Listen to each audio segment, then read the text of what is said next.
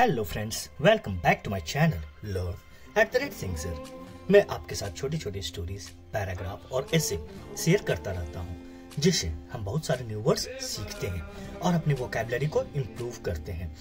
साथ ही साथ जो ग्रामर दी जाती है, मैं कोशिश करता हूँ कि इजी वे में आपके साथ एक्सप्लेन कर सकूँ। So today's story is selling of the house let's get started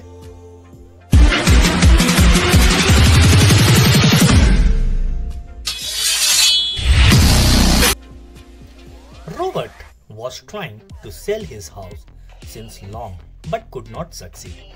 Robert, नाम का व्यक्ति वॉच यानी था ट्राइंग ट्राई कर रहा था।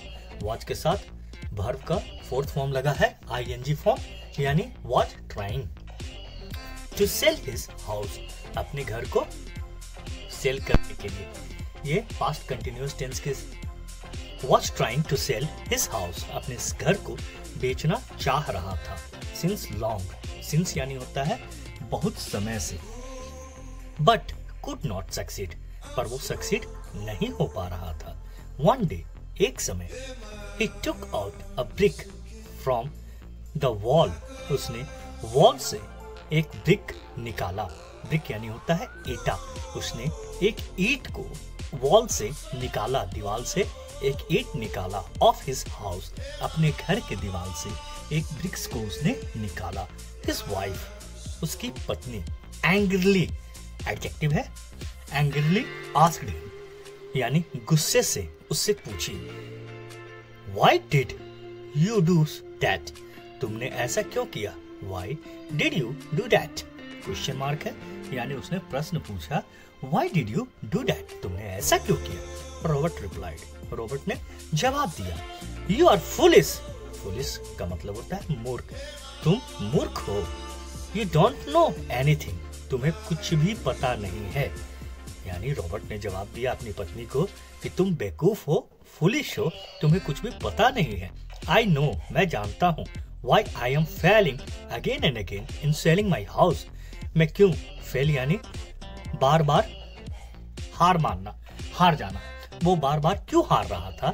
इसके बारे में उसे पता चल गया है कि मैं बार बार क्यों हार रहा हूँ अगेन एंड अगेन का मतलब होता है बार बार इन सेलिंग माई हाउस मैं अपने घर को बेचने में असफल क्यों हो रहा हूँ? ये मेरे को पता चल गया है। I have never shown it sample to any मैंने कभी भी इसका सैंपल किसी को नहीं दिखाया। He was just trying to sell his house by showing the sample. So, let's see what is going to happen of this story. Now, I have got a customer. अब मेरे पास एक कस्टमर है, यानी उसका कहने का अर्थ है कि उसने कभी भी नेवर का मतलब होता है, कभी नहीं।